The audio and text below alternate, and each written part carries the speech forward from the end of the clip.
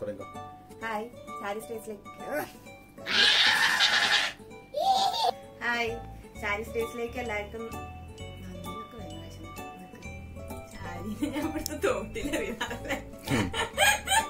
Hi Shari സ്റ്റേസിലേക്ക് എല്ലാവർക്കും സ്വാഗതം. അപ്പൊ ഞാനാണ് സാരി എന്റെ ചാനലിൽ ആയിരം സബ്സ്ക്രൈബേഴ്സ് ആയിരിക്കാണ് അപ്പൊ എനിക്ക് ആയിരം സബ്സ്ക്രൈബേഴ്സ് ആക്കി തന്ന എന്റെ എല്ലാ ഫ്രണ്ട്സിനും താങ്ക്സ് ഉണ്ട്. അപ്പൊ ഞാൻ ഈ ഒരു ചെറിയൊരു സന്തോഷം നിങ്ങളായിട്ട് പങ്കുവെക്കുകയാണ്. അപ്പോൾ ചെറിയൊരു മധുരം ഉണ്ടാക്കിയിട്ടാണ് പങ്കുവെക്കുന്നത്. അപ്പൊ നമുക്ക് ആ വീഡിയോ കാണാം. ഞാനിവിടെ എടുത്തിരിക്കുന്നത് സേമിയ പായസം മിക്സ് ആണ്.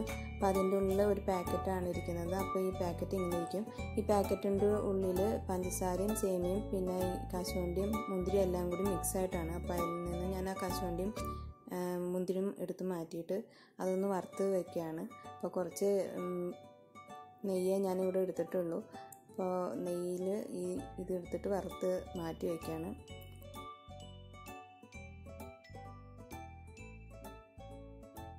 ഇതിൽ പറഞ്ഞിരിക്കുന്നത് രണ്ട് ഗ്ലാസ് വെള്ളവും ഒന്നര ലിറ്റർ പാലും കൂടി ചേർത്ത് തിളപ്പിക്കാനാണ്. അപ്പോൾ ഞാൻ അതുപോലെ ചെയ്തിട്ടുണ്ട്. പാൽ തിളപ്പിക്കുന്നതിന്റെ കൂടെ തന്നെ ഞാൻ ഏലക്കായ മൂന്നെണ്ണം ചതച്ചിട്ടിട്ടുണ്ട്. അപ്പോൾ ഏലക്കായയുടെ സ്മെല്ലൊന്നും വന്നിട്ടുണ്ടായില്ല ഈ പായസം മിക്സിൽ അതുകൊണ്ടാണ് ഏലക്കായ ഈ സമയത്ത് ചേർക്കുന്നത്.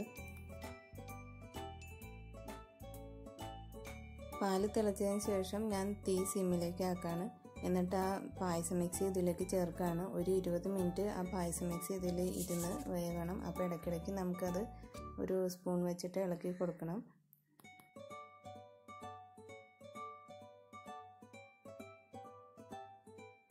നമ്മൾ വീട്ടിൽ പായസം ഉണ്ടാക്കിയാലും മിക്സ് വാങ്ങിച്ച് പായസം ഉണ്ടാക്കിയാലും അത് വൈറ്റ് കളറിൽ തന്നെയായിരിക്കും ഉണ്ടാവുന്നത്. അപ്പോൾ അതിനൊരു പിങ്ക് കളർ കൊടുക്കാൻ വേണ്ടിയിട്ട് ഞാൻ ഇവിടെ എന്റെ ഫ്രണ്ട് പറഞ്ഞൊരു ടിപ്പ് ഉപയോഗിക്കുകയാണ്.